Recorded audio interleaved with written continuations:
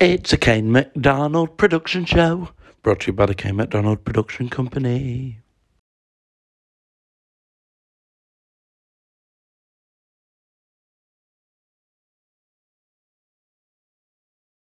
Many, many moons ago, the child that you see in front of you grew up to be one of the biggest singing superstars that the world has ever seen.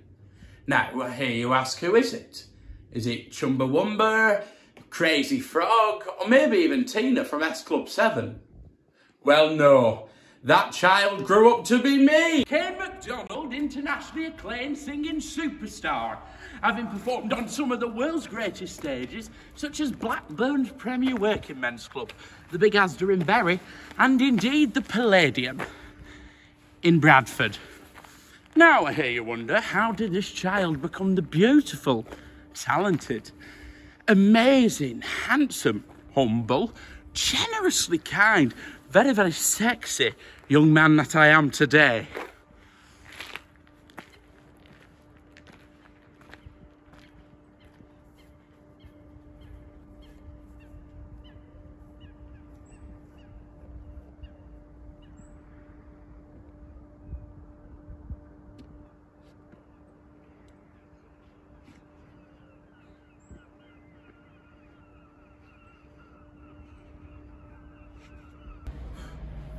My story begins here, in the beautiful northern town of Fake Wales.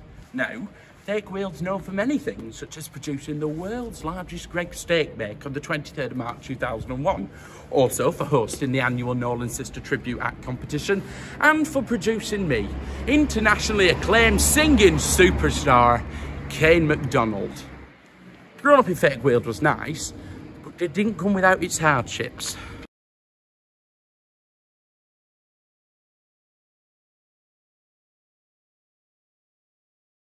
Today I've come back to visit mother and discuss how hard it was growing up in Fake Wales. Is this thing filming? Yeah. So um so here I am with mother and do you remember how difficult it was for us growing up here in Fake Wales? No. Yes. Well, mum has mum has dementia. Sorry, I forgot to say. Mum, mum- not. Yes, you do. Yes, mum, please. Please, you have dementia. I'm so sorry.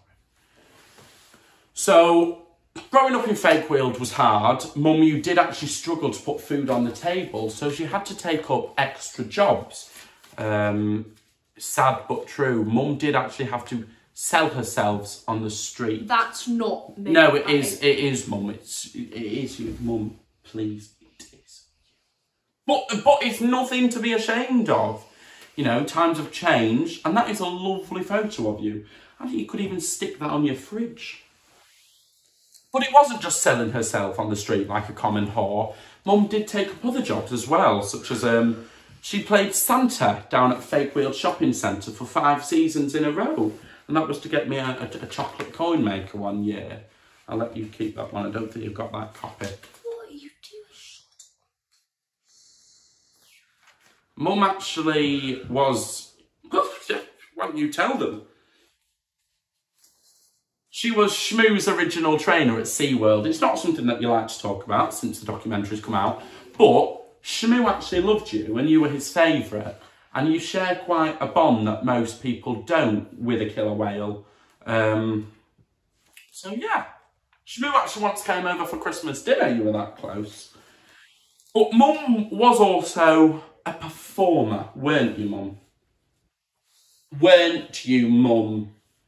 Yeah. Yes. Uh, little do people know, Mum was actually in Walt Disney's Snow White and the Seven Dwarfs as a dwarf.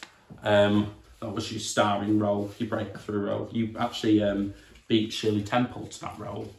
Um, Mum's also good friends with Steven Spielberg, and you were Kate Winslet's body double in the film Titanic, where Jack paints her like one of his French girls, as you can tell. Lots of similarities.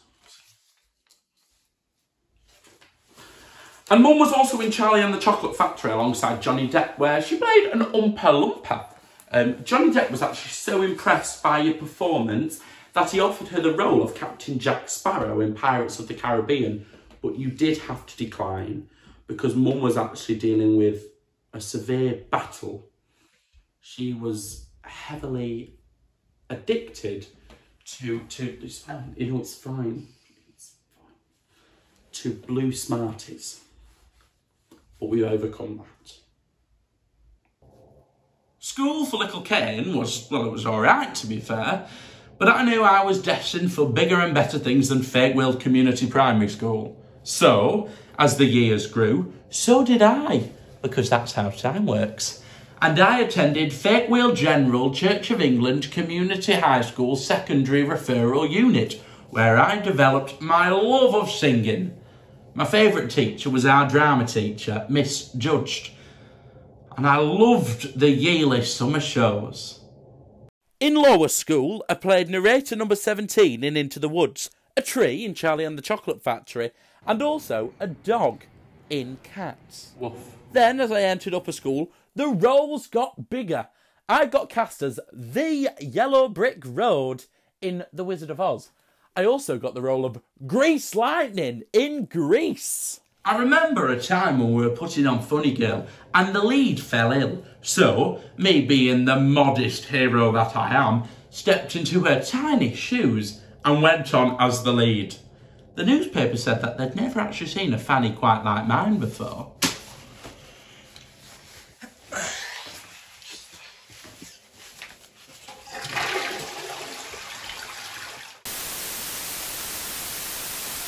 Entering my 20s was when I decided to take my childhood hobby into adulthood.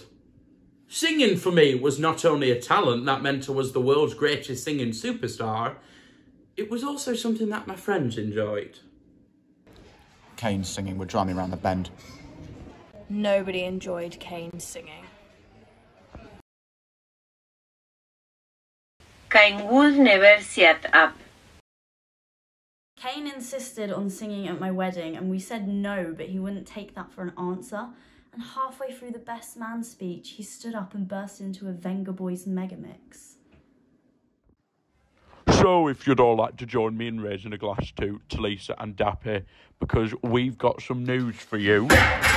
Gotta put some wheels in motion. Get ready, cause we're coming through, coming through, coming through. Hey now, hey now, hear what I say now. Happiness is just around the co- canapes. Hey now, hey now, hear what I say now. We'll be there for you. Oh, we're going to Ibiza. Ricky ticky ticky ticky, whoa. Back to the island. Ricky ticky ticky ticky, whoa! We're gonna have a party. Ricky ticky ticky ticky, whoa! In the Mediterranean Sea. Whoa! We're going to Ibiza. Boom, boom, boom, boom. I wanna go boom, boom. Let's spend the night together, together in my room. I would go as far as to say it was a lifeline for them. So, Cain, what made you take the next step in your singing career? Well, it was my mum who inspired me to take up singing.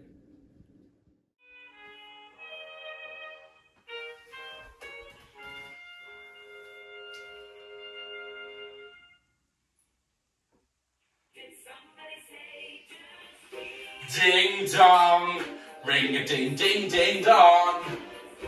Ding dong, ring a ding ding ding dong.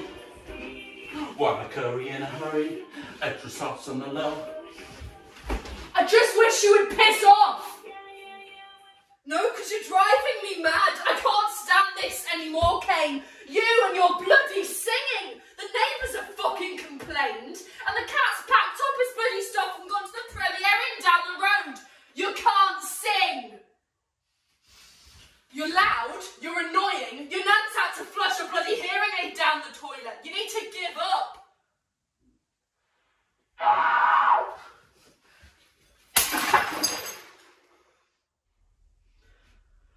No, for fuck's sake, Cain, I'm being serious. Get out!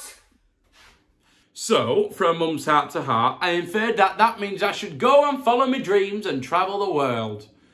So, I decided to become a cruise ship singer. I've always been a fan of the waters. Indeed, I believe it runs in the family. My Uncle Bill, after his divorce, threw himself over the white cliffs of Blackpool to be with the sea for eternity. So naturally, I got a job as a cruise ship singer. I spent weeks auditioning for some of the biggest names in the industry Carnival, Princess, Disney, and then eventually I. I hit the jackpot. I got a job on board the SS Sonia Fowler, sailing from Hull to Rotterdam every day. Yes, granted, I was a car park attendant, but the cameras were on me, which paid off when I got hit by a 1973 Ford Cortina. So me and Sonia had words, and instead of suing, we came to a little agreement. I went up in the world, quite literally as well, from deck three to deck seven. I got a job as a cruise ship singer. I was performing from 8 o'clock to 8.15 every morning and the audiences went wild for me.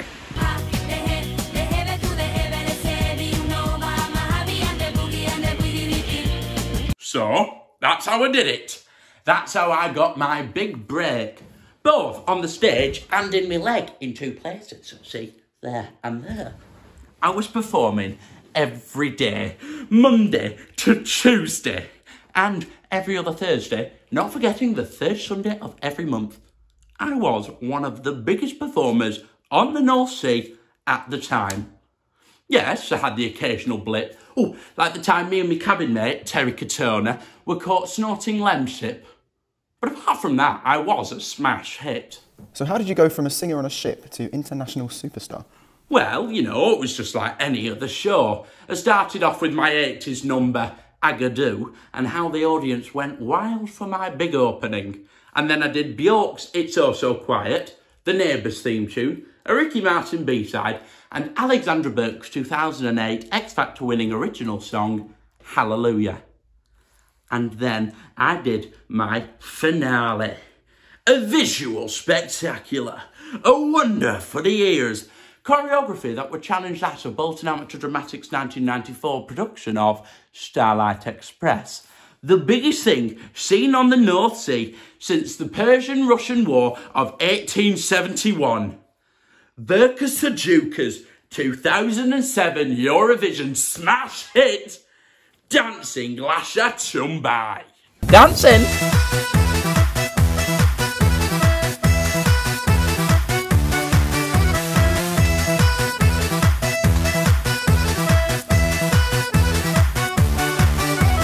Siegen, Siegen, Eichel Siegen, Siegen, Einstein, Siegen, Siegen, Eichel Einstein, Drein. Siegen, Siegen, Eichel Siegen, Siegen, Einstein, Siegen, Siegen, Eichel Einstein, Drein. Dancing, want to see, lash at somebody. I want to see, lash at somebody. I want to see, lash at somebody. I want to see, dancing.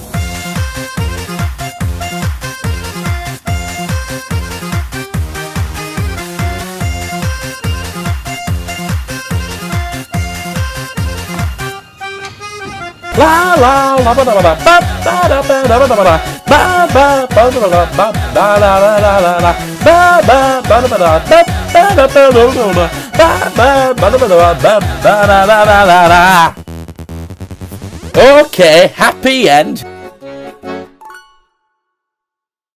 It was smashing, really. I was performing most days from Hull to the Hook of Holland, from Ramsgate oh my, to Rotterdam. I was a global superstar. So naturally, they upload me onto the TikTok. That's the power of social media, you see. Anyway, I digress. Before you know it, I am the most viewed video on the internet. I'm bigger than Gangnam Style, more popular than Teddy Bear Ham, and yes, I did go around the world faster than Michael Palin allow me to set the scene for you. I am everywhere. TV, movies, ceremonial tea towels. I was perhaps more than Princess Di, hence why I gave himself the title of the People's Prince. I made headlines as the first male loose woman. Oh, I starred in the world premiere of Chicken Run the Musical, and I replaced Barry Scott as the spokesperson for Cillit Bang. I then become the world's youngest billionaire. I've got golden records, platinum albums. I even have a tin statue of myself in my nan's garden. So, how did it all go so wrong? Well, I do hate to say it, but I have to blame me Uncle Jim. I'm sorry, I hate to say it, but I have to do it. Me and Uncle Jim were always very close, you know, because Mum was. Uh, what did I say now? What did I say? She was off. She was off training Shamu at SeaWorld. So I spent a lot of time with Uncle Jim, and then I did in adulthood too. Uncle Jim was always my biggest supporter. It's just very unfortunate that Uncle Jim happens to look like a um a certain North Korean dictator, if you know what I mean. It's just very unfortunate. Uncle Jim is a great guy. He just has a very unfortunate appearance. Next thing you know, I wake up to a call from my manager.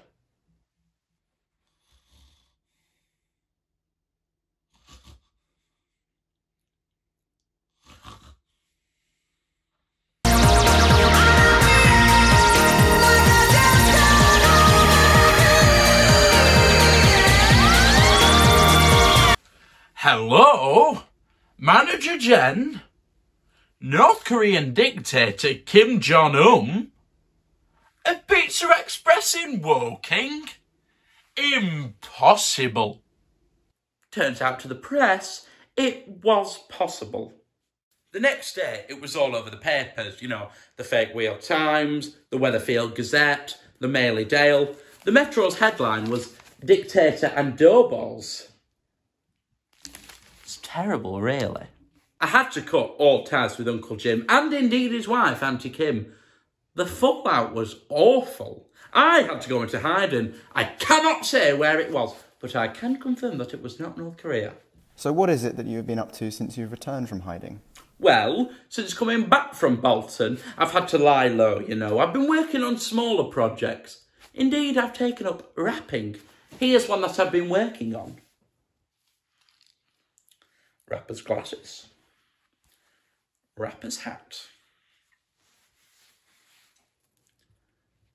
What's up, lads? The name's Kenny Mack. Yeah, I was cancelled, but guess what? I'm back. My Uncle Jim's not from North Korea, and we enjoy dining in a walking pizzeria.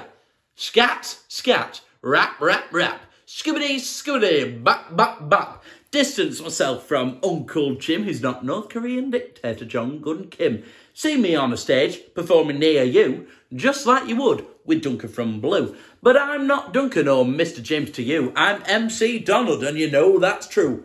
Boosh!